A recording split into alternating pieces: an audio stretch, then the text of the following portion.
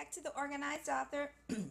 Sorry, I got a frog in my throat. I'm Lucinda, and for today's video, I just wanted to give you guys some tips on planner storage when you have limited space or and or a limited budget. So this is how you can store some of your planner stuff on a budget and this is what I use and I keep in my car. This is what I use specifically to keep in my car for when I'm out and about. I'm gone to volleyball tournaments for the weekend or something. I'm working on a project and I need to take it with me. And so I keep some stuff in here and there's enough room that you can put everything in. What the budget part is, is this is not like an Orla Kiely storage um, container, storage uh, luggage. This is not Louis Vuitton or whatever the other name brands are that out there. I shopped at the thrift store for this and I think I paid like $2.99 for it. So if you're going to take this option, um, it's great to save money and you just got to make sure that you know what you need before you go. So how much room do you need? Um, how much weight are you willing to carry and all those different kinds of things. Just kind of have an idea what you're looking for so you don't just pick up something that looks spacious or looks uh, that'll be good enough and then you take it home and you don't like it even though you may have only spent $2.99 on it. Um, but if you do, you know, hey, you're not out of very much money and you can do something else um, as you figured out that works for you. So I found this at the thrift store and it is working perfectly for me. I will just start with the outside pocket first. So this is February. February is almost over, but um, so a lot of the stuff that's in here is kind of pink and red and all that kind of stuff. But right here on the side, I'll just take uh, a little bit out at a time. I've got different let me hold these up so you can see them. Different washi tapes um, that go with Valentine's Day and the month of February. I'll be changing this out to have stuff that's more like the spring. So I'll be doing that in just a few days. But I've got, I just want you to see so you can see those. I'll sit that down um, to see all of the different, how much washi tape I got in here. And there's some more. Okay, so I've got all that washi tape in there. I'll put all this back. It's just kind of in this corner. And then I also have a hole punch. And then I have some, this is some uh, leftover embroidery thread for a Lucindadori planner I was working on. It still has the needle in it.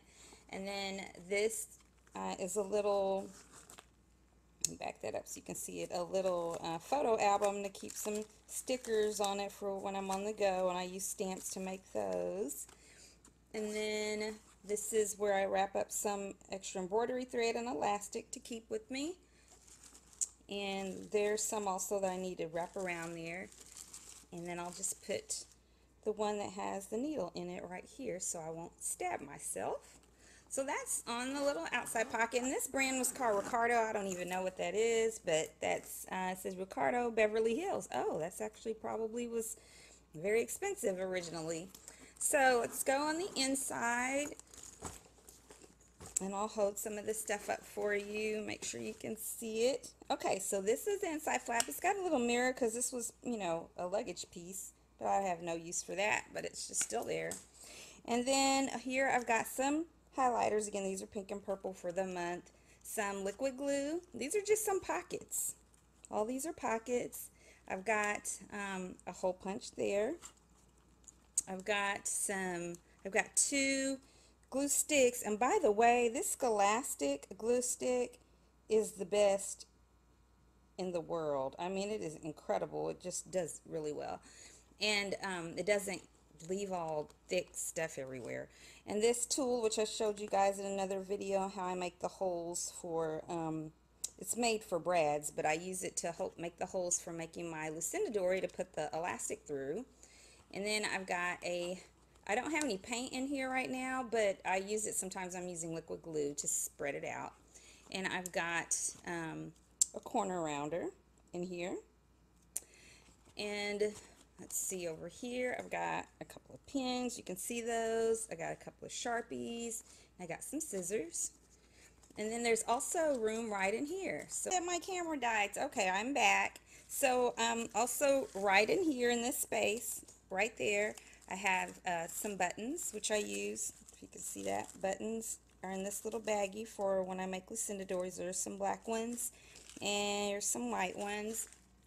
And also here I've got just some little strips of cardboard and um, tape. You can see that. Yeah, tape right there. And I think that's it in there. And okay, I'm sorry about that again. I think I got my camera all situated now. Okay, so now this is what I was going to show you. These came four in a pack for $2.99 at Target, and I love them. These beautiful metal uh, gold what do you call them paper clips. I just think they're gorgeous. So I got those just kind of hanging over the side here. Put that all back. Um, all right. Oh before I do that there's stuff in here and this is where I keep um, see if I can get it out. This is where I keep um, the needles a little package. Come on package of needles for doing my um, Lucinda with the embroidery thread. Okay, and I also like how, um, and there's room to put stuff in here, but I don't have anything in there right now. And I like how these paper clips, you can clip them, you know, either way, and it's kind of a different design. So I really like that. Let's put this back. Ah! Okay, got that one here. And I don't know why I'm having struggle today with this because it's usually really easy. Okay, there we go. And then on this side, last side, just turn that around a little bit. It's got this big section. And then in here, I just used some, I bought these from Dollar Tree a long time ago, these little mesh bags. You can see that mesh bag. And I just separated different things in there since this is one big compartment except for some of the stuff at the bottom. So in the very bottom I have a ruler. I have these little, you can see that ruler. I have um, these little gummed index tabs. I have, uh, this is empty I got from Dollar Tree. I don't remember what was in it, but I'm going to use it to make a traveling uh, watercolor kit. I have a small watercolor kit, but it's bigger than that one. And, and then this, you know, is the tool. Let me raise that up for you guys. This is the tool that I use to make the holes bigger when I make my Lucindadoris. So that's what's all at the bottom here.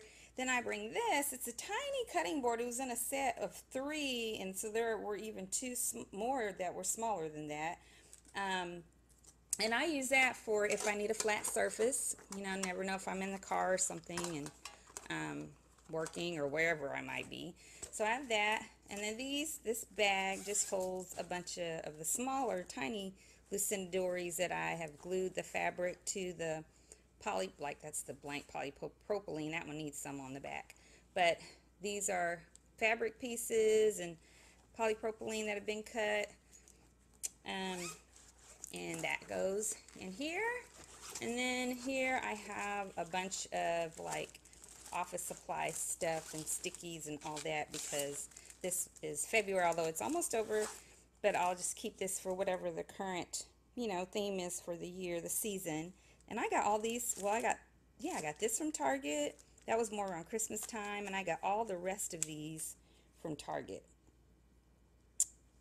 Aren't they cute? They're just adorable. And let's see. And that one. Aren't they just so cute? Oh, I wrote something on that. And all of this. Okay. Well, I hope you guys liked this video today. If you did, please give it a thumbs up and subscribe if you haven't already.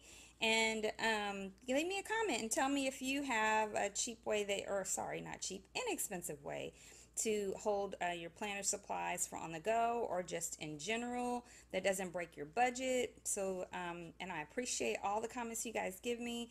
And until next time, happy writing.